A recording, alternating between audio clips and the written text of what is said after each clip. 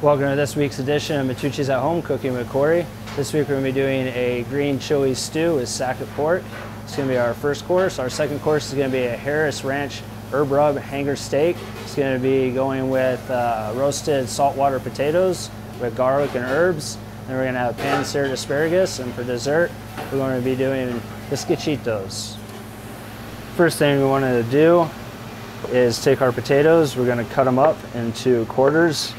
If you like them a little smaller, you can cut them smaller, a little bigger, you can do it bigger. After that, we're going to add our herb oil to it, a little bit of garlic, salt and pepper, and we're going to put it in a pre preheated 350 degree oven. add our herb oil, a little bit of garlic, about half of it, and some fresh pepper, and nice sea salt. And toss this, put it in our 350 degree oven for about 15 to 20 minutes, and then they'll be beautiful. We have our potatoes going. Next, you're gonna wanna heat up your green chili stew. I've already got this one going.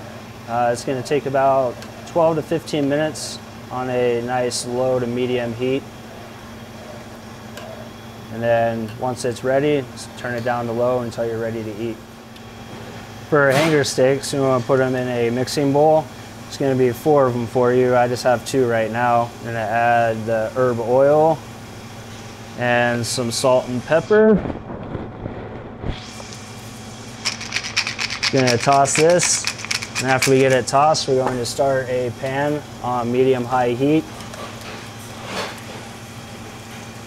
And then for our pan, we're going to add enough oil to coat the bottom of the pan. I'm to say about a almost a tablespoon. Get that nice and hot. We're almost there. And once it's nice and hot, we're to add our steaks to the pan. We're getting there. See, I hear that nice sizzle. It's to give it a beautiful color on the outside, nice caramelization. That's the key is this. We're going to finish it off in the oven. And depending on what temperature you like it, it could be from an extra 5, 10, maybe 12 minutes if you want it well done. Once we get our first side going, at this point, to add in butter. Let that melt down. It's going to help with the caramelization as well and give it a nice richness. Let's see how we're doing here. Oh yeah, it's starting to get that beautiful color. See about another 20 seconds. We should be good to flip. After we flip it, we're going to give it about 30 seconds and then we're going to go into our oven that's been preheated at 350. Uh, you already have stuff in the oven, so you should be good to go on that.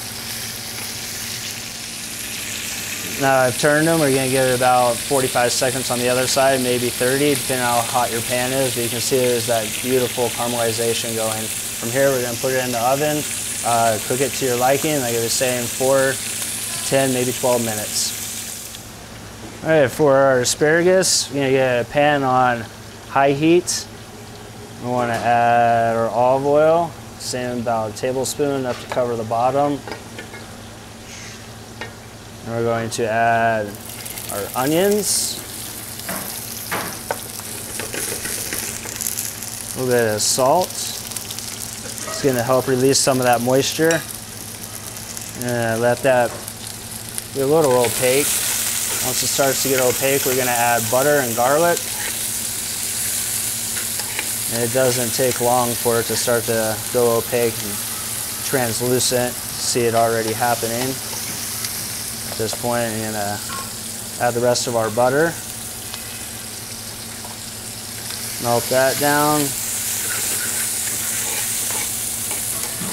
You see with that high heat too, you get a nice sear on the edges of the onion.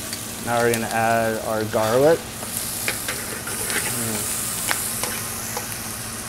And our asparagus. With the asparagus, if you like, you can cut them up I prefer to have them nice and long. And now we're gonna add some pepper. At the very end, we're gonna add a little bit of chili flake. Let me give this probably about 20 seconds or so. Asparagus has already been blanched for you. And if you want them a little more well done, you definitely can. It's up to you, your preference. Now we're gonna add a little chili flake for a little spice. Toss that around, and we're ready to eat. Next is our plating.